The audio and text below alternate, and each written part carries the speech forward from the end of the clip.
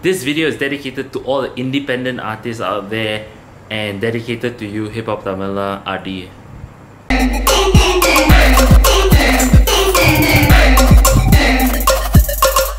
I'm late for the movie again because just now I forgot to take my memory card. So yeah, I'm gonna rush to go watch Meesaya Murukku now. Oh, I'm so fucking late.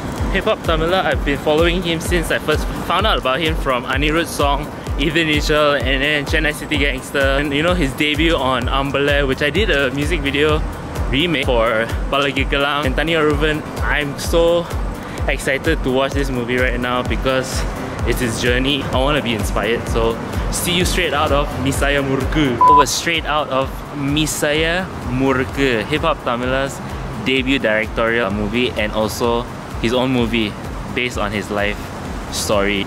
I didn't expect this movie to hit me very emotionally at the end of the movie because like I thought the movie was gonna be inspirational but it was definitely more than that. I like that that he really put the things that he went through, everything in. I mean, I don't think this is a spoiler, but whatever he went through, like he's saying, like you know, you don't need context to get to a high place.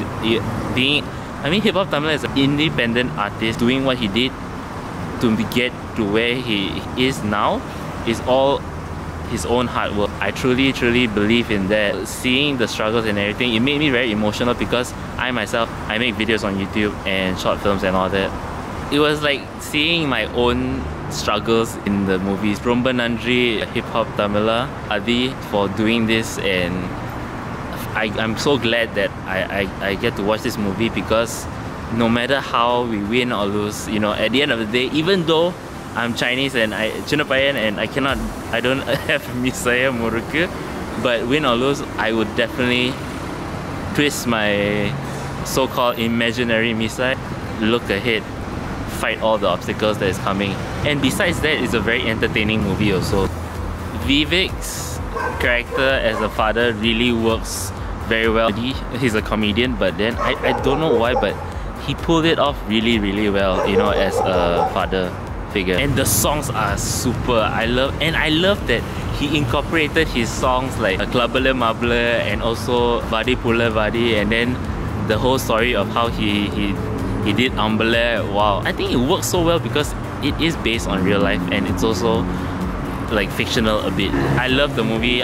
I think I'll definitely watch it again if I can. Thank you for watching my video. Thank you so much Adhi for your story.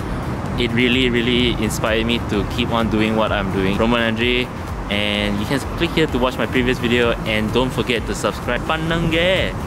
Bye!